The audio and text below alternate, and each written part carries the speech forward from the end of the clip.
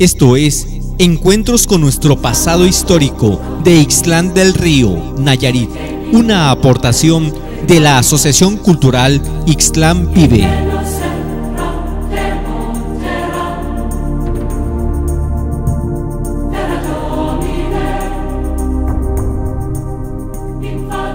Eh, a mis espaldas se encuentra el hotel o mesón Ambos Mundos. Este mesón lo podemos apreciar en una fotografía que por ahí se encuentra eh, en una diligencia en el año de 1915. Este mesón, hotel, ambos mundos, en el año de 1915 era propiedad de la señorita Maclovia López.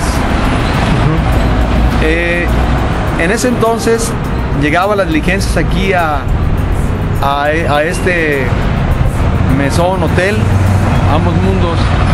Y tenía entonces, la casa estaba marcada con el número 56 del cuartel tercero. Eh, aquí en, en ese hotel, en ese año de 1915, un señor, Crescencio Partida, de Aguacatlán, que era comerciante, por ahí la maestra en Gracia, Robles González, Robles González, en sus apuntes dice que este señor tenía una farmacia, era comerciante. Por cierto que fue presidente municipal Crescencio Partida de Aguacatlán. Este señor eh, trató de comprarle esa finca en 5 mil pesos, que fue el valor que le dio la señorita Maclovia López. Pero en ese entonces no se concretó la operación, nada más se hizo un, una promesa de venta porque no había notario público. O sea, en ese entonces Aquí en este hotel Ambos Mundos, como en todos los hoteles, sucedieron algunos casos. En ese mismo año de 1915, el señor Antonio Macías, Antonio Macías Ramírez, que era el juez del registro civil, que por cierto duró muchos años como juez aquí en Islán, muchos de sus libros están escritos por, por puño y letra de él, de este señor Antonio Macías, vino a dar fe de un nacimiento de un niño. Nada más que este niño era hijo natural del señor Guillermo Bonilla Yese. Este señor Guillermo Bonilla Yese era profesor y este señor Guillermo Bonilla Yese, siendo profesor, fue candidato suplente a, eh, a formar parte del Congreso Constituyente de 1917. Los propietarios eran Juan Espinosa Bávara, Marcelino Sedano y Cristóbal Limón. Y este señor era propietario suplente, era, era, era suplente del propietario Juan Espinosa Bávara.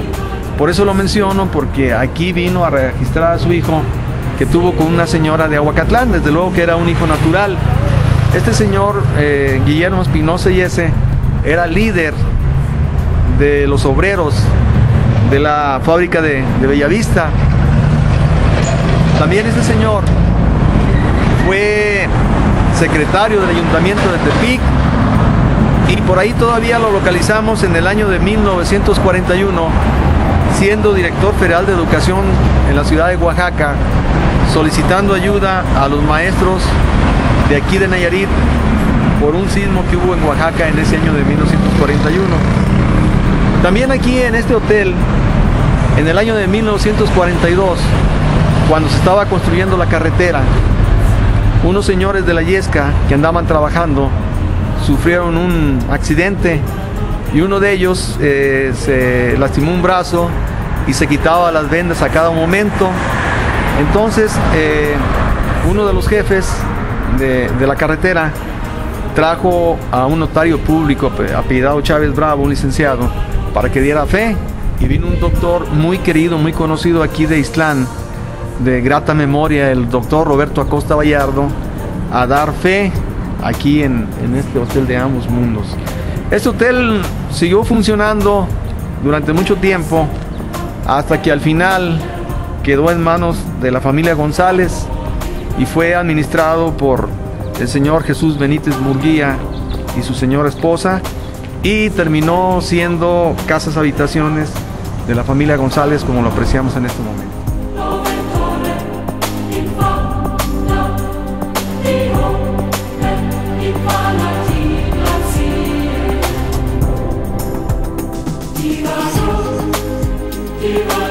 Esto fue Encuentros con nuestro pasado histórico de Ixtlán del Río, Nayarit, una aportación de la Asociación Cultural Ixtlán Vive.